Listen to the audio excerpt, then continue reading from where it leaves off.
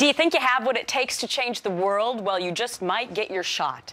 One entrepreneur is giving away $1,000 every day for an entire year. And all the money goes to projects that will make our world a better place. Ari Nessel is the founder of the Pollination Project, and he's my guest this morning. Good morning to you, Ari.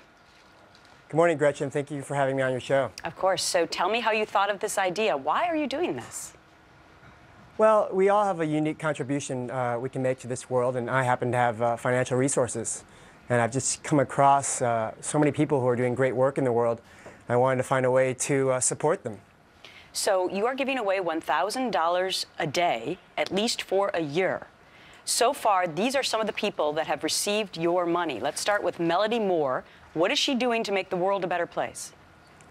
Yeah, Melody's a clinical psychologist. Uh, she founded the Inner Beauty project along with six, uh, uh, seven rather of her courageous uh, clients. She works with uh, people who have young women especially who have eating disorders and they helped, you know, they're helping to, she's helping them move beyond these eating disorders.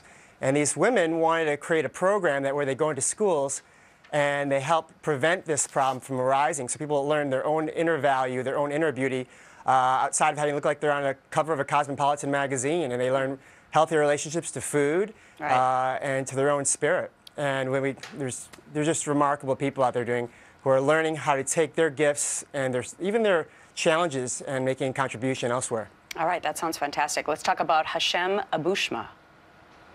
Yeah, he founded, a, uh, he, he and many volunteers co-founded a group called, called uh, Throw Trash, Not Stones. He lives in the Palestinian territories. And he noticed that these, you know, this area, he, in his own words, is very dirty and not well taken care of.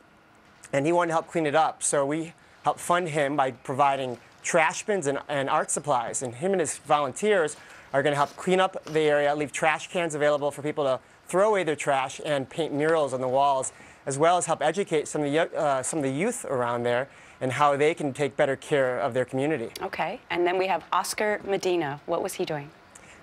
Yeah, he came to us uh, through our uh, partnership with Green for All. Oscar uh, lives on the uh, south side of Tucson, uh, where there's a lot of young people, young men, who don't have uh, many job skills, and there's not many opportunities to get training for jobs. And he saw this great opportunity in the, in the future of the green economy to provide some of those skills by teaching people how to create organic foods, how to learn about agriculture, irrigation, grow their own food so they can eat healthy uh, in their community, and also potentially work in farms. Mm -hmm. So if people want to learn whether or not they can be eligible for this $1,000 a day, what do they need to do? They just go to our website, uh, which is thepollinationproject.org. Uh, it lays down all of our uh, criteria for who we fund, and we are really focused on funding individuals, mm -hmm. not so much organizations, but you know, we believe that each individual has a unique uh, gift or privilege or uh, a skill set, a talent where they can make a difference in the world. And we want to help fund those people uh, to put that, that meaning, create more meaning and contribution in their life and make a contribution to their uh, community around them. What an amazing idea. Uh, the only rule you have is they can't turn a profit. They just have to make a difference in the world. Ari Nessel, the entrepreneur and founder of the Pollination Project. Hats off to you today. Thanks for being our guest. Thanks, Gretchen. Let's go over to Steve.